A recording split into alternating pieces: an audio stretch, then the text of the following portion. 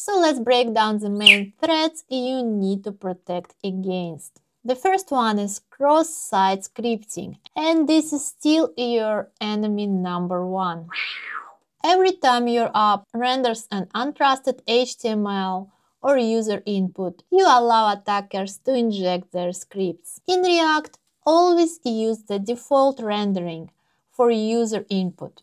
Never use this dangerouslySetInnerHTML option unless you absolutely trust the content and always sanitize it before rendering. And cross-site request forgery is less common now with all the modern APIs and token auth, but if you use cookies for authentication, then make sure your backend validates tokens and uses same site cookie flag. And make sure you never expose any sensitive data in your code. API keys, passwords, or access tokens, they never should be in your front-end code. Use environment variables and server-side logic to keep all this kind of data out of client build.